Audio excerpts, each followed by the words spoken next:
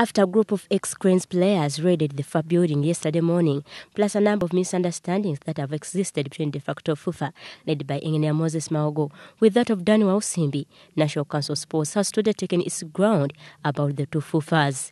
None of those two fighting factions is a true registered federation to run the game of football in this country. None of them is compliant. Either FUPA Magogo or FUFA Walusimbi none of them is compliant. The National Council of Sports concurs that Walusimbi owns the certificate from the Ministry of Lands. They, however, say he failed to present all the required documents. Talk now. It is true that uh, Walusimbi, with his certificate, he came to National Council of Sports, but submitting that, that certificate alone does not qualify you. There's a, a verification committee appointed to verify all the federations which are to register.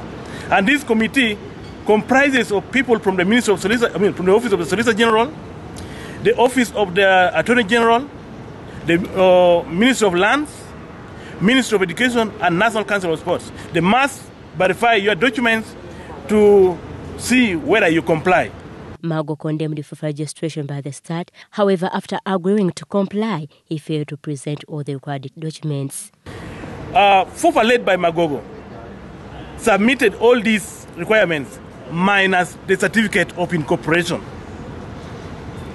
Then Walusimbi submitted his certificate of uh, incorporation without other things like uh, the membership, the audited books of accounts, the calendar of the activities of the year, both international and local, and other things were missing.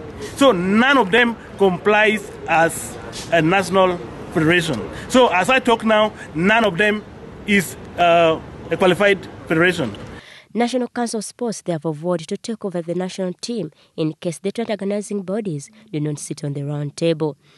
We are uh, waiting for the advice from the Solicitor General. I've told you that we wrote to the Federation, I mean to Lands. Lands has written to the uh, Solicitor General. We are waiting for their opinion on this, and then we shall take a necessary decision. If it means uh, council coming in to take the, on the cranes, as a national team, we shall do that. The war between Daniel Simbi's FUFA and Magogos has existed for quite long, with neither of the two parties trusting National Council of Sports to settle their differences.